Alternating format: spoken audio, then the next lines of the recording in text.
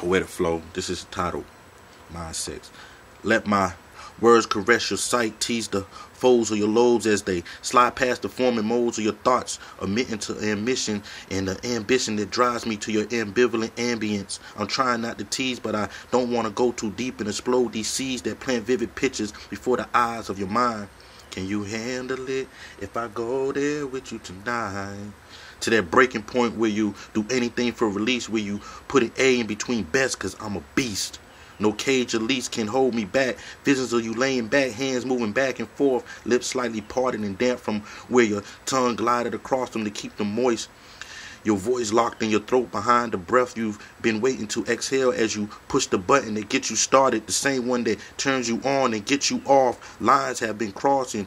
You still wonder what's next. Open your eyes. It was just mind sex.